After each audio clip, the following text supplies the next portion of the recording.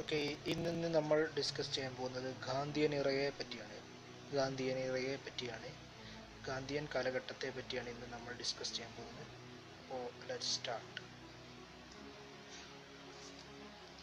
അപ്പോൾ ആദ്യം നമ്മൾ ഡിസ്കസ് ചെയ്യാൻ പോകുന്നത് ആയിരത്തി തൊള്ളായിരത്തി പന്ത്രണ്ട് ആയിരത്തി തൊള്ളായിരത്തി പന്ത്രണ്ടിലെ ഡൽഹിയിലെ ഒരു ബോംബ് കോൺസ്പിറസി ഉണ്ടായിരുന്നു. ഡൽഹിയിലെ ഒരു ബോംബ് കോൺസ്പിറസി ഉണ്ടായിരുന്നു. അതാരായിരുന്നു നടത്തിയിരുന്നത്?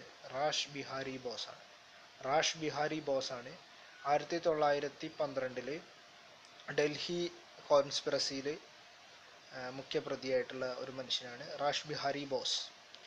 അപ്പോൾ ഉണ്ടായിരുന്ന വൈസ്രോയി ആയിരുന്നു ഹർഡിഞ്ച് സെക്കൻഡ് ഹർഡിഞ്ച് സെക്കൻഡ് ആയിരുന്നു അപ്പോഴത്തെ വൈസ്രോയി റാഷ് ബിഹാരി ബോസ് ആണ് ആയിരത്തി തൊള്ളായിരത്തി പന്ത്രണ്ടിലെ ഡൽഹി കോൺസ്പിറസി ഡൽഹി ബോംബിങ്ങിന്റെ മെയിൻ കാൾപ്രിറ്റ്സ് ഓക്കെ പിന്നെ ഏറ്റവും ഇമ്പോർട്ടന്റ് ആയ സംഭവമാണ് ഗദ്ദാർ പാർട്ടി ഗദ്ദാർ പാർട്ടിയാണ് അടുത്ത ഏറ്റവും ഇമ്പോർട്ടന്റ് ആയിട്ടുള്ള ഒരു ഇവന്റ് ഗദ്ദാർ പാർട്ടിയാണ് പിന്നത്തെ ഏറ്റവും ഇമ്പോർട്ടന്റ് ആയിട്ടുള്ള ഒരു ഇവന്റ് ആയിരത്തി തൊള്ളായിരത്തി പതിമൂന്നിലാണ് ഗദ്ദാർ പാർട്ടി ഫോം ചെയ്തിരിക്കുന്നത്. ഗദ്ദാർ പാർട്ടിയുടെ ഹെഡ് ഹെഡ് ഓഫീസ് സാൻ ഫ്രാൻസിസ്കോയാണ് സാൻ ഫ്രാൻസിസ്കോയിലാണ് ഗദ്ദ ഗദ്ദാർ പാർട്ടിയുടെ ഹെഡ് ഓഫീസ് ലാല ഹരിദാലാണ് അതിന്റെ മെയിൻ ഫൗണ്ടർ ലാല ഹരിദാൽ സോഹൻ സിംഗ് ബക്ന ആണ് അതിന്റെ പ്രസിഡന്റ് സോനം സിംഗ് ബക്നയാണ് സോനം സിംഗ് ബക്നയാണ് അതിന്റെ പ്രസിഡന്റ് ലാല ഹരിദായാൽ ആണ് അതിന്റെ ഫൗണ്ടർ സാൻ ഫ്രാൻസിസ്കോയിലാണ് ഇത് ഫോം ചെയ്തിരിക്കുന്നത്. ആയിരത്തി തൊള്ളായിരത്തി പതിമൂന്നിലാണ് ഗദ്ദാർ പാർട്ടി ഫോം ചെയ്തിരിക്കുന്നത്.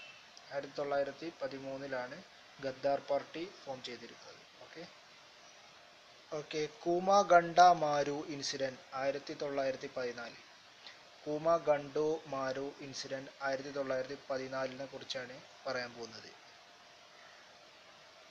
ഈ കൂമ ഗണ്ട മാരു എന്ന് പറയുന്ന ഒരു ജപ്പാനീസ് ഷിപ്പാണ്.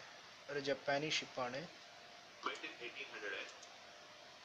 ഈ ഇവന്റ് എന്ന് പറഞ്ഞാൽ ഇന്ത്യയിൽ നിന്ന് ജനങ്ങളെ കാനഡയിലേക്ക് കൊണ്ടുപോകായിരുന്നു കാനഡയിൽ ഇവർ ഹ്യൂജ് ഡിസ്ക്രിമിനേഷൻ ഫേസ് ചെയ്യേണ്ടി വന്നിരുന്നു.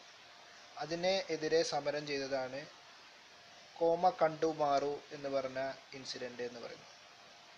ഓക്കെ അതാണ്. അത് ഈ ഇവന്റ് വേൾഡ് വാർ ഫസ്റ്റ് ആയിരത്തി തൊള്ളായിരത്തി പതിനാല് മുതലായിരുന്നു ഇത് സ്റ്റാർട്ട് ചെയ്തിരുന്നത്. ഇതിന്റെ മെയിൻ ലീഡറാണ് ഗുർദീപ് സിംഗ്. ഗുർദീപ് സിംഗ് ആയിരുന്നു ഇതിന്റെ മെയിൻ ലീഡർ ഈ കപ്പൽ സ്റ്റാർട്ട് ചെയ്തിരിക്കുന്നത് ബഡ്ജ് ബഡ്ജ് പോർട്ടിൽ നിന്നിട്ടായിരുന്നു. ഈ കപ്പൽ സ്റ്റാർട്ട് ചെയ്തിരിക്കുന്നത് ബഡ്ജ് ബഡ്ജ് പോർട്ടിൽ നിന്നായിരുന്നു. എന്താ കാ ഇനി ആ ninth January nineteen fifteen ninth January nineteen fifteen South ആഫ്രിക്കയിൽ നിന്ന് ഗാന്ധിജി ഇന്ത്യയിലേക്ക് വന്നു. സൗത്ത് ആഫ്രിക്കയിൽ നിന്നിട്ടായിരുന്നു ഗാന്ധിജി ഇന്ത്യയിലേക്ക് വന്നത്. സബർമതിയിൽ പിന്നെ ഒരു ആശ്രമവും പണിതു. ആയിരത്തി തൊള്ളായിരത്തി പതിനഞ്ച് ജാനുവരി നയനിലായിരുന്നു ഗാന്ധിജി ഇന്ത്യയിലേക്ക് വന്നത്. പിന്നെ സബർമതി ആശ്രമം പണിതു. അതാണ്.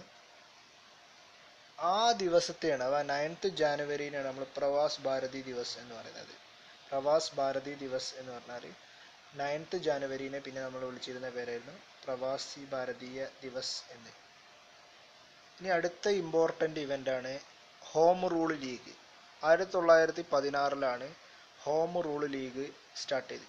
ഹോം റൂൾ പറഞ്ഞാൽ സെൽഫ് റൂൾ ഓക്കെ ആയിരത്തി തൊള്ളായിരത്തി പതിനാറിലാണ് ഹോം റൂൾ ലീഗ് ഫൗണ്ട് ചെയ്തിരിക്കുന്നത്.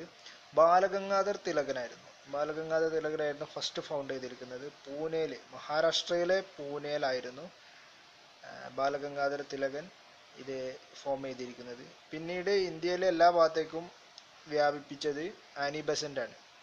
ആനി ബെസന്റ് അയർലാൻഡുകാരിയാണ്. അയർലൻഡുകാരിയാണ് ആനി ബെസന്റ് മദ്രാസിലായിരുന്നു അതിയാറിലും കൂടിയായിരുന്നു ആനി ബെസന്റ് ഇത് സ്റ്റാർട്ട് ചെയ്തിരിക്കുന്നത്. പിന്നെ ഇമ്പോർട്ടന്റ് ആയിട്ട് വേറൊരു കാര്യം പറയുകയാണെങ്കിൽ ബാലഗംഗാധര തിലകനെ വിളിച്ചിരുന്ന പേരായിരുന്നു ഫാദർ ഓഫ് അൺട്രസ്റ്റ് എന്ന്. ഫാദർ ഓഫ് അൺട്രസ്റ്റ് എന്ന് വിളിച്ചിരുന്നത് ആരായിരുന്നു? ബാലഗംഗാധര തിലകനെയാണ്. അത് ഏതിലാണ്? വാലന്റീന ചിറോൾ എന്നുള്ള ബുക്കിലാണ് ഇത്. വാലന്റീൻ ചിറോൾ എന്നുള്ള കിറോൾ എന്നുള്ള ബുക്കിലാണ് ബാലഗംഗാധര തിലകനെ ഫാദർ ഓഫ് ഇന്ത്യൻ അൺട്രസ്റ്റ് എന്ന് പറഞ്ഞിരിക്കുന്നത്. പിന്നെ ബാലഗംഗാധര തിലകന്റെ മെയിൻ ആയിട്ടുള്ള ബുക്കുകളാണ് മറാത്ത കേസരി. മറാത്ത കേസരി എന്നുള്ള രണ്ടും ബാലഗംഗാധര തിലകന്റെ ബുക്കുകളാണ്. ചെ ബുക്കുകളല്ല സോറി ന്യൂസ് പേപ്പേഴ്സസ് ആണ്. ആനി ബസന്റെ ന്യൂസ് പേപ്പേഴ്സസ് ആണ്. Commonweal Commonweal Commonweal New India Commonweal New India എന്നാണ്.